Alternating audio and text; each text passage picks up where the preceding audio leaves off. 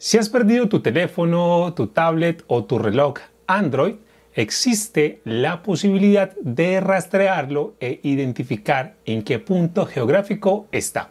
Revisemos en este video de qué va. Hola y bienvenido a un nuevo video de mi canal.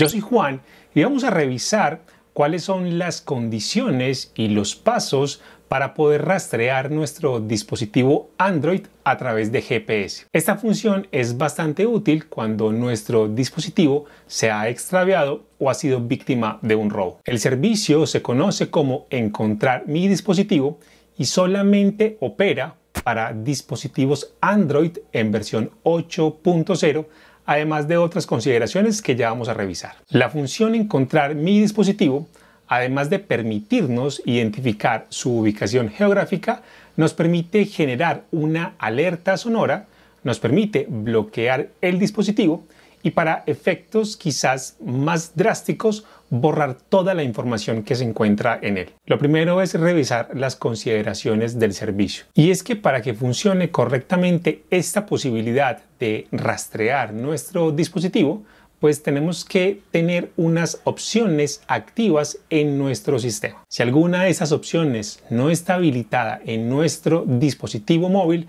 en nuestro teléfono, en tablet o en nuestro reloj, pues infortunadamente el sistema no va a funcionar correctamente y no vamos a poderlo localizar, bloquear, borrar datos o activar una alarma sonora. Revisemos pues las consideraciones. Primero, el dispositivo debe estar encendido así sea en modo bloqueo. Claro, si nuestro dispositivo es apagado por esa persona malintencionada o si, digamos, con el tiempo el dispositivo pierde la carga de la batería, se va a apagar y va a ser imposible localizarlo.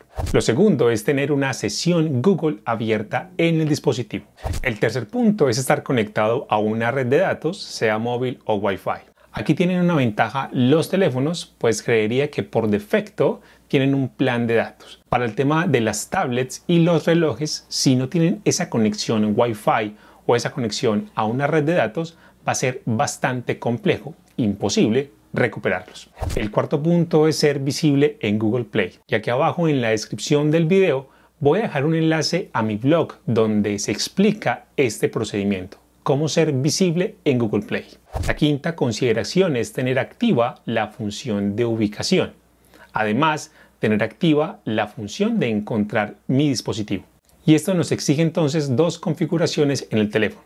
La ubicación y tener la función encontrar mi dispositivo. Para activar la ubicación del dispositivo puede variar un poco entre las versiones de Android, pero básicamente desde la configuración del sistema lo que debemos permitir es que el GPS, para hacerlo muy sencillo, que el GPS esté activo. Y la segunda configuración tiene que ver puntualmente con la función encontrar mi dispositivo. Busquemos la aplicación en la tienda de Google Play, la descargamos y la configuramos de manera suficiente con la cuenta Google que está asociada al teléfono. Y la última consideración es tener activa la verificación en dos pasos.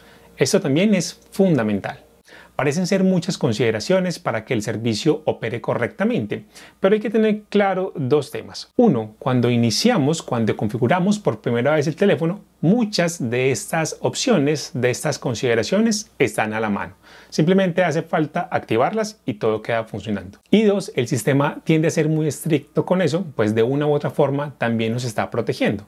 Por ejemplo, si nuestro teléfono no está extraviado, no ha sido robado y si no es estricto, pues quizás alguna persona malintencionada podría acceder al sistema y podría, digamos, bloquear nuestro teléfono, borrar los datos, eh, podría saber la ubicación de donde estamos en cualquier momento. Entonces, cuando el sistema, cuando nosotros accedemos al sistema para ubicar el dispositivo, el sistema tiene que estar completamente seguro de que somos los propietarios del mismo.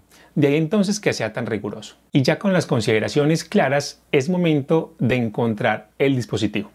Para ello es necesario que tengamos claridad de cuál es el nombre exacto del dispositivo. ¿Y esto por qué? Porque es posible que tengamos varios dispositivos, varios teléfonos, tablets, relojes, incluso computadoras asociadas a nuestra cuenta Google. Entonces hay que ser preciso en cuando nos aparezca esa lista de dispositivos, saber cuál es exactamente el que estamos ubicando. El siguiente paso es iniciar sesión en el sitio web android.com/find. Aquí debemos estar seguro que estamos iniciando sesión con la misma cuenta que está asociada al dispositivo que queremos encontrar. Aunque este sitio web también opera desde dispositivos móviles, mi recomendación es hacerlo desde computadores de escritorio. Una vez ingresamos a este sitio web, encontramos una lista de dispositivos y un mapa geográfico donde nos va a presentar dónde se encuentran esos dispositivos que cumplen con las consideraciones que mencionamos hace un par de segundos. ¿Qué podemos entonces hacer en este sitio web? En el mapa podemos identificar con bastante precisión en qué lugar geográfico se encuentra nuestro dispositivo. Como ya se mencionaba, podemos activar una alarma sonora. Esta alarma incluso funciona si el dispositivo se encuentra en modo silencio o está bloqueado y la alarma tiene una duración de hasta 5 minutos y puedes activarse con el botón de encendido. Otra opción es bloquear el dispositivo.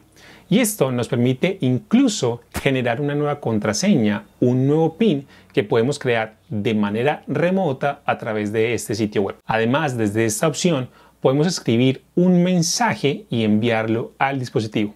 Si alguien lo encontró, podemos indicarle que lo estamos buscando y que puede comunicarse con nosotros a un correo electrónico o a una línea telefónica. Y por último, podemos borrar los datos del dispositivo, es decir, borrar las fotografías, los contactos, toda la información que está en él, borrarla. De acuerdo a los mecanismos de identificación de recuperación del dispositivo que hayamos activado y si lo recuperamos, es posible que Google nos solicite iniciar sesión con la cuenta de correo iniciar sesión con la contraseña correcta y no solicite la verificación en dos pasos. Hay una pregunta un tanto común en la comunidad de ayuda de Google y es si la ubicación es exacta. Es decir, ese punto que nos muestra en el mapa es efectivamente exacto. Y esto va a depender de la cobertura de los datos que esté recibiendo el dispositivo.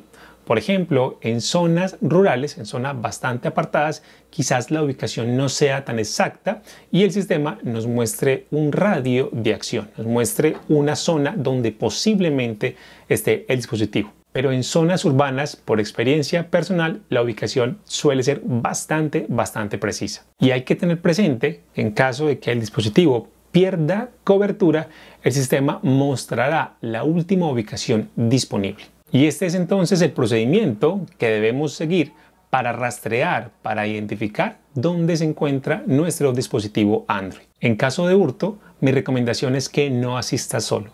Busca, por ejemplo, a la policía, muéstrales la ubicación, la aplicación, encontrar mi dispositivo y que sean ellos quienes te ayuden. Como siempre lo menciono en la comunidad de ayuda, en estos casos es importante mantener la calma ser pacientes y revisar toda la documentación, el paso a paso de lo que comenta Google que hay que hacer en estos casos. Espero pues que este video haya sido de gran utilidad. Si fue así, te invito a que des clic en me gusta, a que lo compartas y por supuesto a que te suscribas al canal.